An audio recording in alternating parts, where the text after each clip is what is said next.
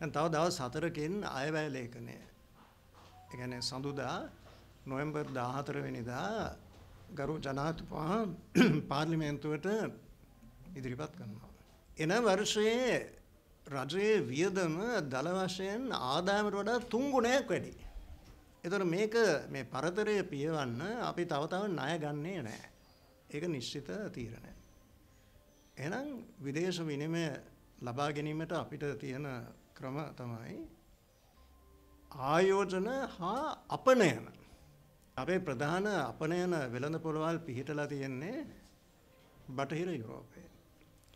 GSP+ වරප්‍රසාද යටතේ අපිට පුළුවන් වෙනවා අපේ රටේ අපනයන විශේෂයෙන්ම තේ ඇඟලුම් වැනි අපනයන කිසිම තීරු බද්දක් නොගෙවා යුරෝපීය වෙළඳපොළ වලට යැවීමට.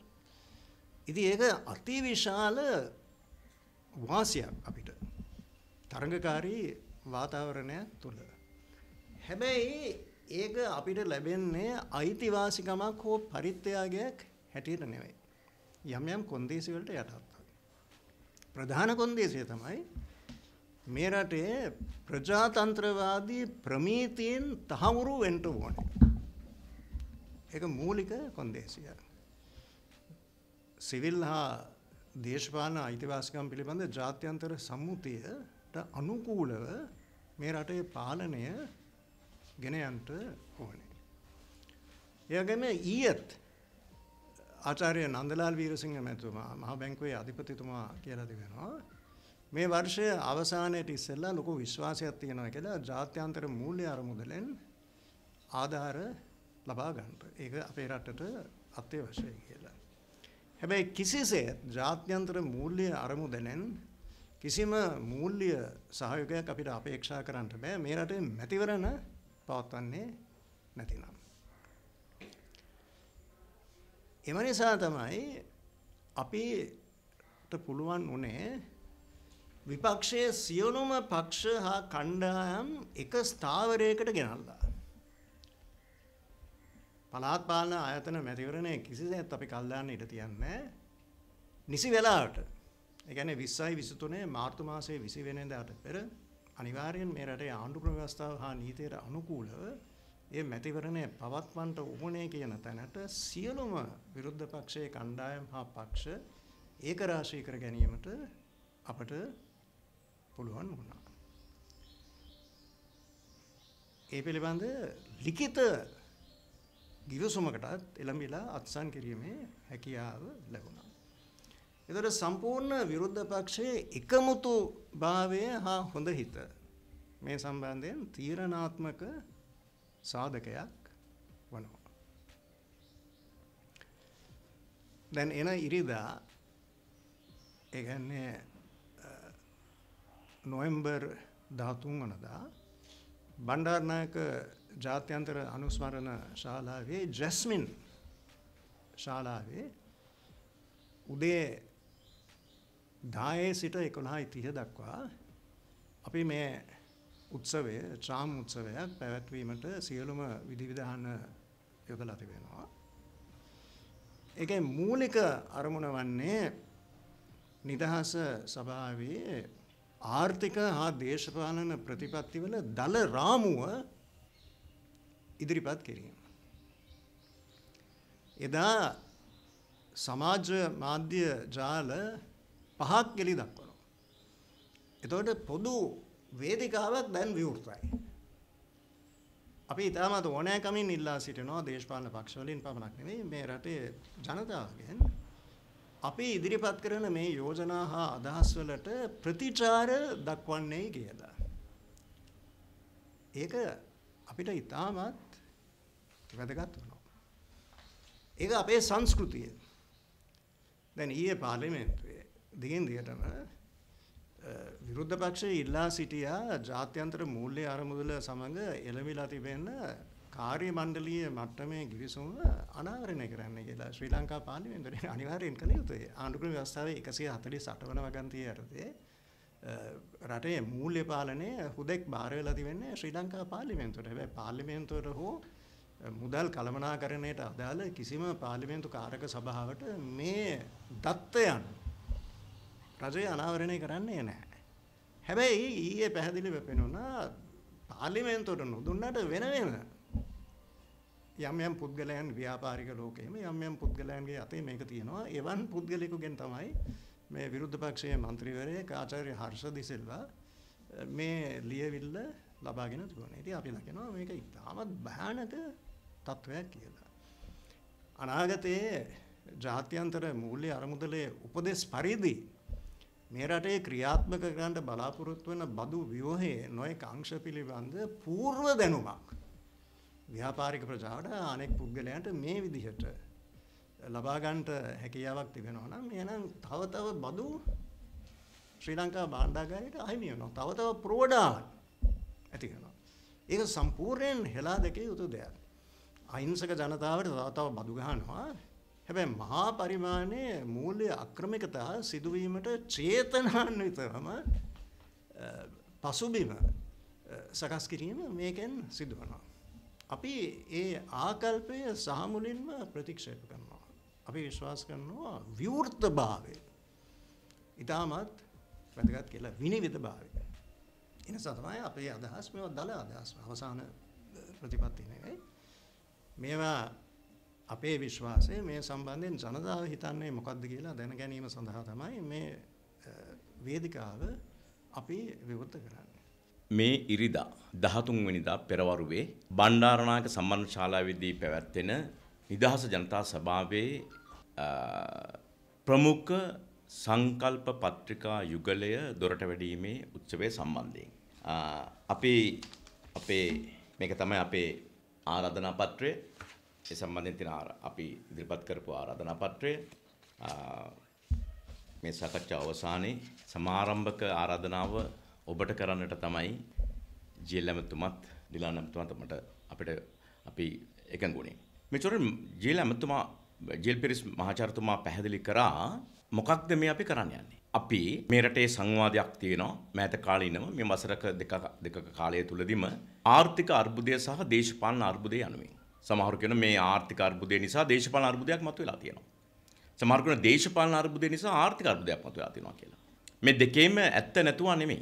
අපි මේ රටේ දේශපාලනයට ප්‍රවේශ වෙච්ච ලාබාලම කණ්ඩායම විදියට අපි ඒකමතිකව තීරණය කරා මේ සංවාදයේ කවුද ඉස්සෙල්ලාවේ කවුද පස්සේ මතුවුණේ කියලා කියන සංවාදයෙන් බැහැර වෙලා මේ අර්බුදය යුගලයම එකිනෙකා මත අනියමින් යැපී සිටින අර්බුද කියලා තේරුම් අරගෙන දේශපාලන අර්බුදය පිළිබඳවත් ආර්ථික අර්බුදය පිළිබඳවත් අපේ දැක්ම රාමුවක් විදියට ප්‍රතිපත්තිමය රාමුවක් විදියට සංකල්පමය රාමුවක් විදියට ඒ එහෙම නැත්නම් කියන අපි ෆ්‍රේම්වර්ක් ඩොකියුමන්ට්ස් දෙකක් විදියට අපි මේ රට හමුවේ තබන්නට තීන්දුව කරා.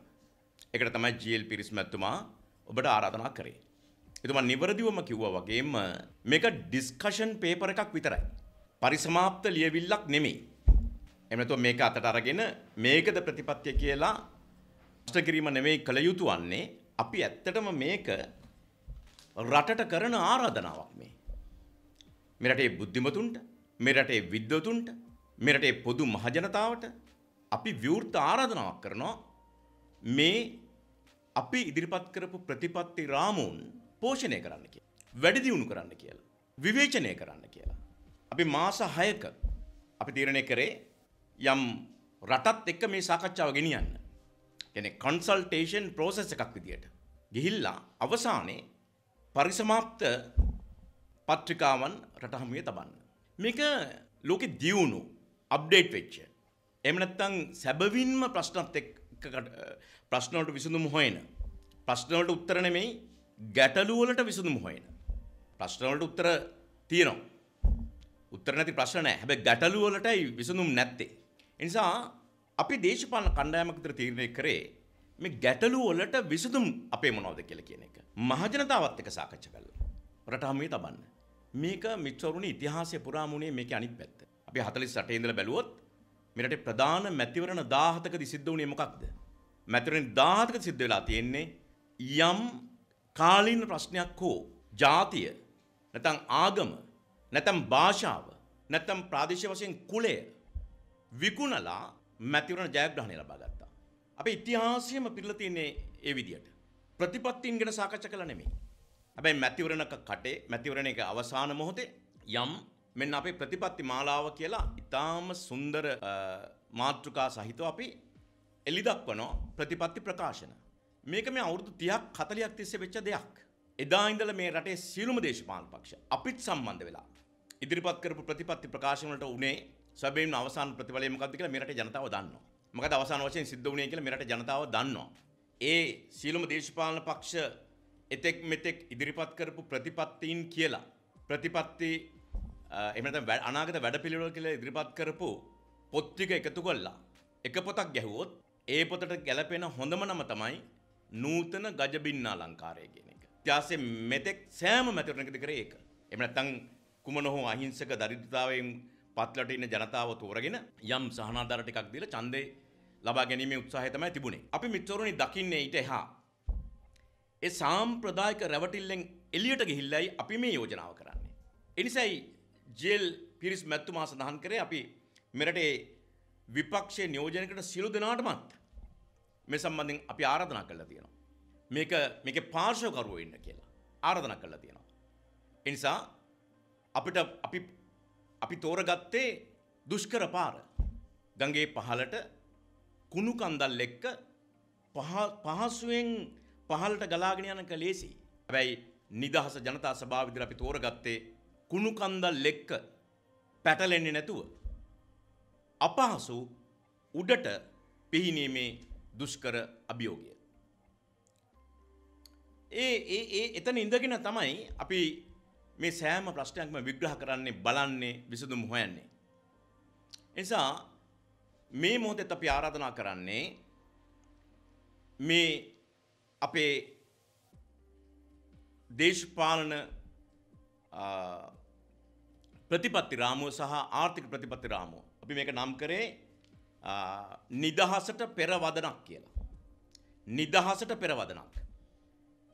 එහි පසු වදන් ලියන්න අපි තාම ගෞරවයෙන් නැවතත් රටට ආරාධනා කරනවා. නැවතත් රටට ආරාධනා කරනවා.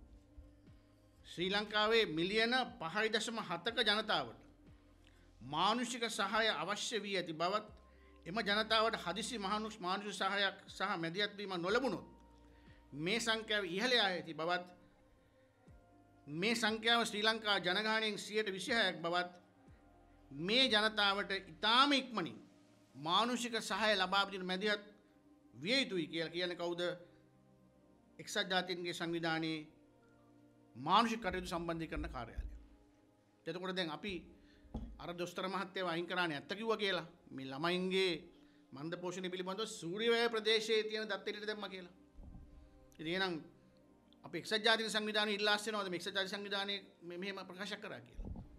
අපිට තියෙන්නේ ඇත්ත කියනකොට යම් පුරෝකථන කරනකොට ඒවට පිළිතුරු හොයන එක විනා ඒ පිළිබඳව කියපු කෙනා හොයාගෙන කියලා දනුවම් කරන එක නෙවෙයි.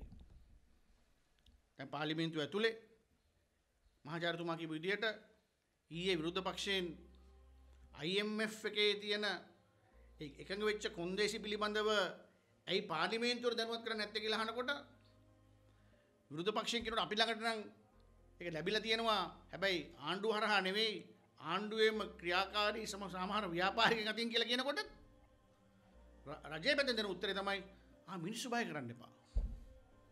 ඉගෙන මිනිස්සු බය කරන්න එපා කියලා කියන ආණ්ඩුවම තමයි මීට මාසකට ඉස්සල්ලා අපේ රට දුප්පත් රටක් කියලා කැබිනට් මණ්ඩලයෙන් යෝජනා සම්මත කරගන්නේ. එතකොට මිනිස්සු බය වෙන්නේ නැද්ද?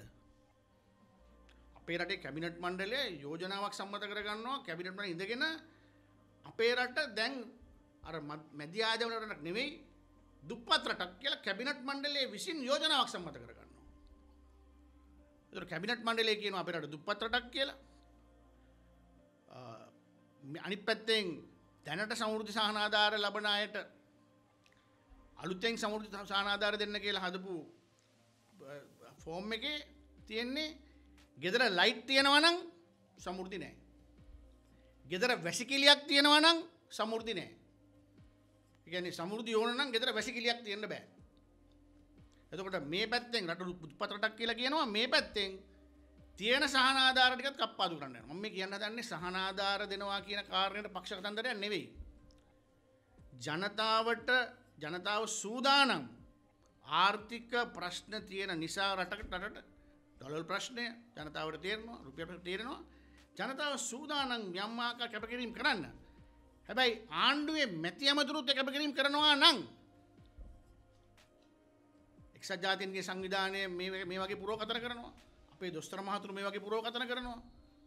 ලයිට් බිල ඉහල යනවා වතුර බිල ඉහල යනවා. හැබැයි කැබිනට් මණ්ඩලේ සංඛ්‍යාවත් ඉහල යනවා.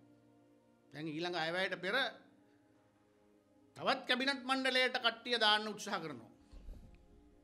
දැන් තියෙන මේ කවුද පත්වෙන්නේ? අර ඇමරිකාවේ ඇමරිකාවේ කපුටු පාර්ශවය කියනවන මෙන්න මේගොල මේගොල දාන්න ඕනේ. එතුට ඒ එනාය කියවන අපිට වරායෝනේ නෑ මට මට සෞඛ්‍ය ඕනේ. තුර වරයින්න එක්කෙන කියන නෑන මකින් වරාය ගලවන්න එපා. සෞඛ්‍යකා කියවන මකින් සෞඛ්‍යය ගලවන්න එපා. එක මගේ සෞඛ්‍යය හොදනෑ රාජ්‍ය ඇමතිවරු පැටව් ගහලා මුදල් අමාත්‍යංශයේම කැබිනට් ඇමති එක්කෙනයි රාජ්‍ය ඇමතුරු දෙකයි. නිවාස ඉදිකිරීම කරන නිවාසකුත් නැහැ කරන ඉදිකිරීමකුත් නැහැ රාජ්‍ය කැබිනට් ඇමති එකයි රාජ්‍ය ඇමතුරු දෙකයි. රාජ්‍ය ඇමතුරු දිවුරලා මට මේක හොඳ නැත්තම් කොහොමද එයාව දාන්න තව එකකට. ඉතින් කැබිනට් මණ්ඩලය පැටව ගන්නවා. ඊට අමතරව කැබිනට් එකට පිටින් රාජ්‍ය ඇමතුරුට පිටින් එක්සත් ජාතික පක්ෂයේ පරාජය වෙත්ත පාර්ලිමේන්තු මන්ත්‍රීවරු කැබිනට් ස්ටේටස් සහිතව උපදේශකවරු වෙනවා. තනාධිපති උපදේශකවරු. එතකොට කැබිනට් මණ්ඩලේ වෙනම රාජ්‍යමතිවරු වෙනම ජනාධිපති උපදේශකවරු කැබිනට් සටයට සහිතව වෙනම ඊළඟට සෝල්ඩයින් මහත්තයා වෙනම උපදේශක මාලදිවයිනේ කතානායක නසීර් මහත්තයා වෙනම උපදේශක ඒවට ඔක්කොම කරගෙන යනවා. ඒවට කොම කරගෙන යනවා. ජනතාවට හැබැයි අර ප්‍රශ්නවල බර සියල්ල ජනතාව දාන ගමන් කැබිනට් මණ්ඩලයේ බරත් රාජ්‍ය ඇමතිවරු බරත් ජනතාව පිටම දානවා. ඒ නිසා තමයි නිදහස් ජනතා සභාව කල්පනා කළේ අර පළාත් පාලන මැතිවරණය කල් දැමීමට එරෙහිව නැගිට්ටා වගේ. පළාත් පාලනය මැතිවරණ කල් දැමීමට එරෙහිව සියලු පාර්ශවයන් පක්ෂ එකතු කරගත්තා වගේ නායකයෙක් වටා නෙවෙයි වැඩපිළිවෙලක් වටා අපි සියලු පාර්ශයකතු කරගන්නට ඕන කිය. ඒ සඳහා තින පලවෙනි ප්‍රවේශය තමයි මේ කරන්න එකතු මේක මේ අවසානාත්මක ඩොක්කමට එක නෙවෙයි අර ඉස්සර පුරුදු විදියට මෙන්න අපේ ප්‍රතිපත්තිය පිළිගණ්ඩ මෝනය බල කියලා කියන විදික්‍රමයෙන් එලියට ගිහිල්ලා. මෙන්න අපි යෝජනා කරන සැකිල්ල රාමුව කරුණා කරලා මේක විවේචනය කරන්න. විවේචනය නැතුව මේකට එකතු කරන්න පුළුවන් දෙවල එකතු කරන්න. අපි ඔක්කොම එකතු වෙලා හරි වැඩ පිළිවෙලක් හැදුවොත් තමයි අපට මේ පවුල් දේශපාලනයෙන් අතුගාදාලා දූෂණ වංචා කරපු හොරු ටික අල්ලගෙන සාමූහික ප්‍රයත්නයක් හැටියට මේර ඉස්සරංගන පුළුවන් වෙන්නේ. එහෙම නැතුව බොරු විගඩන් කළ නෙවෙයි. දැන් පාර්ලිමේන්තුව තුළ ළඟදි කතානායකතුමා ලිපියක් ලියනවා ජනාධිපතිතුමා කතානායකතුමා අර ආංශික කාරක සභහ පත් කිරීමේ කාර්තව්‍ය ප්‍රමාද කරනවාය. එතුමා කරපු එක හොඳ වැඩේ අර ජාතික සභහදපු විතරයි කියලා. ඇ හදපු ජාතික සභ මොකක්ද හදපු ජාතික සභාව විරුද්ධ පක්ෂය ඉල්ලපුරා ජාතික සභාව නෙවෙයි. රජි සිබල පිටි මහත්තේලා නිමාසිරිපාල මහත්තේලා අමරවීර මහත්තේලා විරුද්ධ පක්ෂ ඉන්නකොට ඉල්ලපු ජාතික සභාව නෙවේ හැදුවේ. ඒ ජාතික සභාව හැදුව හැදුවන ඒ ජාතික සභාව හදන යෝජනා කරේ. අර ඩල සලාපර මතිතුමා ජනාධිපතිවරණයට පාලි විදිරපතන ඉස්සල්ලා අගමැතිවරයෙක් පත් කරන්න තිය තිඳු කළ තියෙනකොට මහිත මහත්ම ඉල්ලාසුනොත් අන්න ඒ ජාතික සභහ පත් කරන්න සියලුම පක්ෂවල එක එකගත්වෙන් ඒ ජාතික සභාව විසින් අගමැති කෙනෙක් නම් කරනවයි කියලා කිව්වා. ඒ අගමැතිතුමත් එක්ක සියලු පක්ෂ එකතු වෙච්ච කැබිනට් එකක් නම් කිරීමත් කරන ඒ ජාතික සභාවෙන් කියලා කිව්වේ. ඒක කරේ නෑ. අපේ මගේ මේ දෙපැත්තේ ඉන්න මහතුරු දෙන්නම තමන්ට ලැබෙන්න තියෙන තොරතුරු දාලාපු අය. ඇයි මම එහෙම කියන්නේ? කියනවානි සමහර අයට රනිල් වික්‍රමසිංහ මහත්තයා අගමැතිකම බාරගත්තේ වෙනි කවුරු බාරගත්තේ නැති නිසා කියලා. බොරු. දලස් තරාප්පර මැතිතුමා අගමැතිකම බාරගන්න සූදානමින් හිටියා. පොට්ටුවේ මන්ත්‍රීවරු ගිහිල්ලා හිටපු ජනාධිපතිතුමා හම්බෙලා කිව්වා යෝජනා කළා. පක්ෂ ගණනාවක් දළ සමතුමාගේ නම ඇතුළු තව නම් දෙකක් ඇරිය. භාරගන සූදානන් කියලා. නමුත් පොහොට්ටුවේ මන්ත්‍රීවරයෙක් අගමැති වෙන එක වලක්වීම සඳහා තමයි රනිවිකසි මහත්තය පත් කරන්න. ජියල්පිස් මැතිතුමා දල සලහපරු මැතිතුමාට සහයෝගය දෙන්න තීන්දු කරේ නැත්තනම් එතුමාද අගමැති? දිරිස්කුණාදර නෙවෙයි. පොජ්ජන පෙරමුණි සභාපතිවර හැටියට එතුමා දැනං හිටියා මම මේ තීන්දුව ගන්නකොට දලෂ්ට චන්ද දෙන්න. දලස්ට ස්තිර කරන්න. මම මේ අතහරින්නේ ඇමතිකම නෙවේ මම මේ අතහරින්නේ අගමැතිකම කිය හැබ එතුමට ඕනකට තිබුණ අගමැතිකම නෙවෙයි. අලුත් දේශපාලන වැඩපිළිවෙලක් එක්ක සියලු පාර්ශයකතු කරට ගමනක්. අන්නේ ගමනට අපි සුමාන නමයක් තිස්ස අවතීරණ වුණා. අලුත් විදියකට අලුත් ක්‍රමයකට. අපේ දෙදා ජනතා සභාව තුළ ඉන්න මන්ත්‍රීවරු දන්නවා. අපේ ඒ මන්තිරුත් එක්ක ඒ සභාව ඉන්නවා විධ වෘතිකයන් නියෝජනය කරන අපි විදාක් සභාව. අපි විදාක් සභාව කටයුතු කරන විදිය අලුත්ම දේශපාලන වැඩපිල්ලක් එක්ක අලුත්ම විදික්‍රමයක් එක් කියන්නේ. ඒ විදික්‍රම අපි මහපොලොවෙත් පැළ කරන්න තමයි උත්සාහ කරන්නේ නිදහස් ජනතා සභාව දහතුන්ෙන්ද ආර්ධනා කරන්නේ වැඩබල් එකතු වෙන්නේ කියලා. ඒ නිදහස් ජනතා සභාව ඒ ඒ දහතුන්ෙන්ද ඒ සංවිධානය කරනේ සරල චාම් උත්සවය තුළත් ඔකුල බලාගන්න පුළුවන් වෙයි. සාම්ප්‍රදායික නායකයෙක් වටා එකතු වෙලා නායකයා නායකයා කිය නායකයට හුළංගහමින් යන ක්‍රමය වෙනුවට අලුත් අදහස් වලට ඉඩ දෙන වැඩ පිළිවෙලක් සා සාමූහිකත්වයකොට නැගිච්ච වැඩ පිළිවෙලක් අපි අපේ පොත්වල ඉදිරිපත් කරන විතරක් නෙමෙයි. අපේ දේශපාලනිසා ආර්ථික රාමුවට කවකට විතරක් නෙමෙයි. ඒ උත්සවය උනත් සංවිධානය වෙන්නේ අලුත්ම විධික්‍රමයකට අලුත් වැඩ පිළිවෙලක් ඔස්සේ. අන්නේ වැඩ පිළිවෙලට එකතු වෙන්න කියලා ඔබට අපි ආර්ධනා කරනවා අපේ මානසිකච්ඡ අවසානයේ ඒ පළමු ආරාධනය අපි කරන්නෙත් අද දින මාධ්‍ය වේදී ඔබට එක තලුත් වැඩක්. වෙන්දට මාධ්‍යවේදී ඔබ එන්නේ ආරධනා පත්‍රය ගත්ත අයගේ පින්තූර මාධ්‍යය දාන්න. අද අපි ඒ කාරණය කරන ඔබට තමයි මුලින්ම අපේ ආර්ධනය කරන්නේ.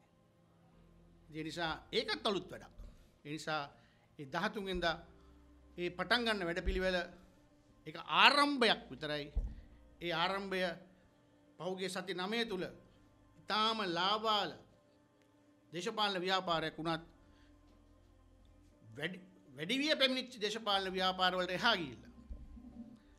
එයා දැන් ලොකුළමයෙක් වෙච්ච ව්‍යාපාරවලට එයා එහා ගිය ගිය වැඩ වැඩ වැඩසටහනක් ගොුණු කරගන්නට අපිට තිබුච්ච හැකියාව සහ ඒ ඒ සම්බන්ධකං ඔස්සේ මේ වැඩ පිළිවෙලත් අපි හිතනවා සාර්ථක කරගෙන වැඩ පිළිවෙලක් මත ගොඩ නැගිච්ච සියලු දෙනාම ඒක රාශී කරගත්ත පවුල්වාදයට එරෙහි වෙන ජාතිවාදය අන්තවාදයට එරෙහි වෙන දූෂණය වංචාවර්තිත තියෙන උද්දච්චකම සහ ඒකාධිපති තනි බලයක් මත පක්ෂ මෙහෙවන්න වූ රට මෙහෙවන්න වූ යාන්ත්‍රණය රෙහි වෙන අලුත් වැඩ පිළිවෙලකට ගුණුවෙන්න කියලා සියෝධනට මාර්ධනා කරන.